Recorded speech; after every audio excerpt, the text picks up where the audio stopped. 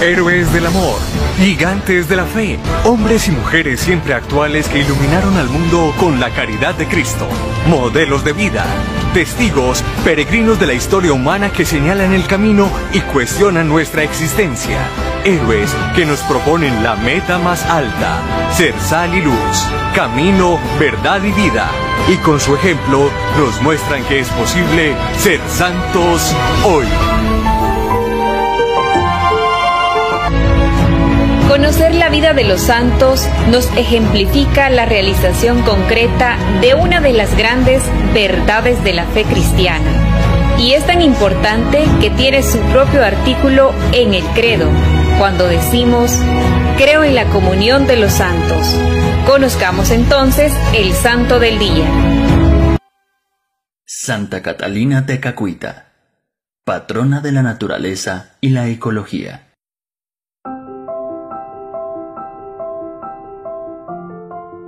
Nació en 1656 en Auriersville, Nueva York. Etimológicamente el nombre de Catalina significa aquella que es pura e inmaculada.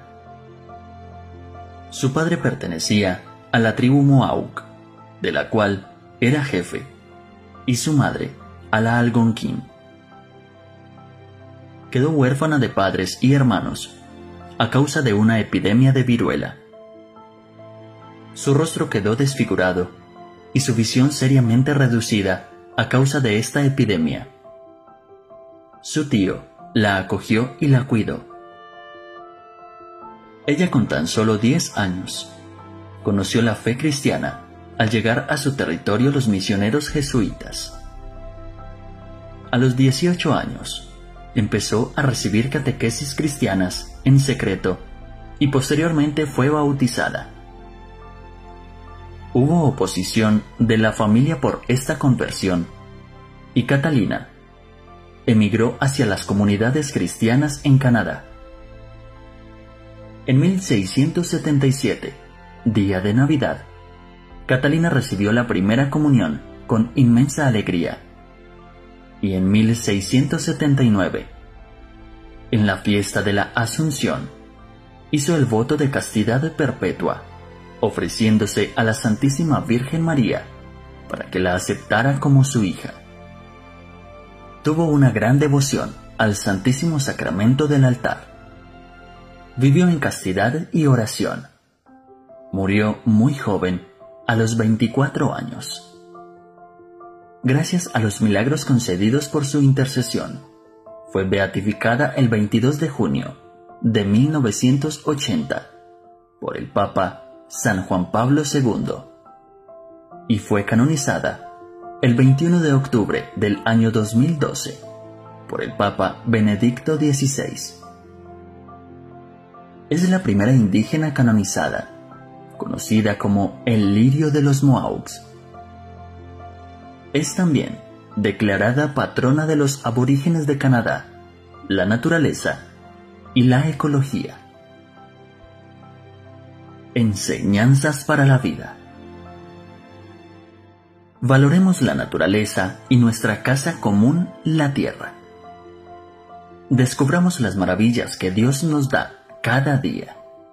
Cuidemos los árboles, el agua, los animales y nuestros hermanos más necesitados para que todo vuelva a la paz y el equilibrio.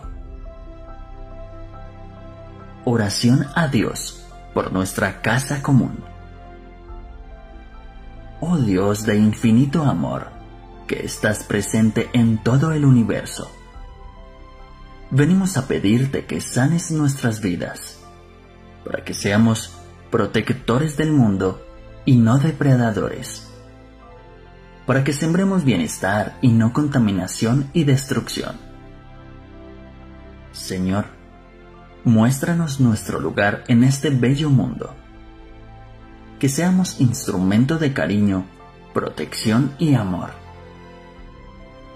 Querido Padre, entra en nuestra casa común, la tierra. Entra, Señor, brilla con tu luz Hoy el mundo se ha oscurecido. Todos con nuestra fragilidad hemos sido partícipes de esta historia. ¿Qué nos ha pasado, Señor? Hoy vivimos para el consumo y la avaricia. Hoy vivimos para la imagen, el poder y el orgullo.